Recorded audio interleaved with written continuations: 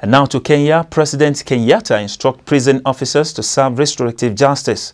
President Uhuru Kenyatta has instructed new recruits into the Kenya Prison Service to offer services that help reform the offenders without stigmatization and undue pain. The report. The prison service must be a place of restorative justice.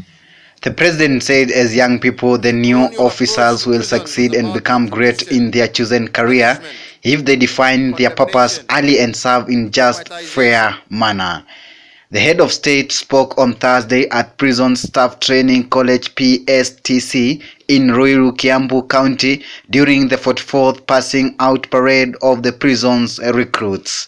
The president rallied against the use of redistribution, punishment, condemnation, stigmatization and pain on offenders saying Kenya prisons must mainstream restorative justice in their reform role. If the colonial approach to prisons was about retribution, punishment, condemnation, stigmatization and pain, restorative justice is about correction. It is not about punishing the prisoner, condemning and stigmatizing him with painful methods. It is about repairing his humanity and restoring his God given goodness.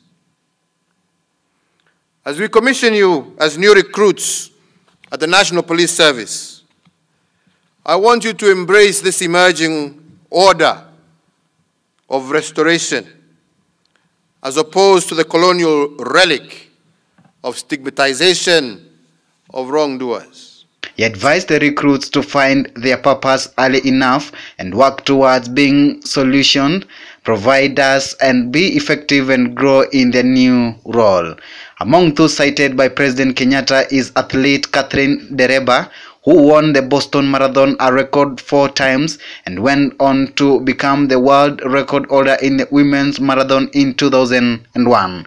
As new recruits, I want you to condemn the actions and misdeeds of the evildoer, but not the person and the human spirit in the prisoner. You must do your best to restore their goodness and to restore their humanity. This is how we shall together build a positive nation. On prison reforms, the president applauded the leadership of Kenya prisons for several achievements among them the establishment of automated vehicle number plates production facility. He said the new production facility will not only guarantee security and quality of motor vehicle registration plates, but also promote local production and manufacturing.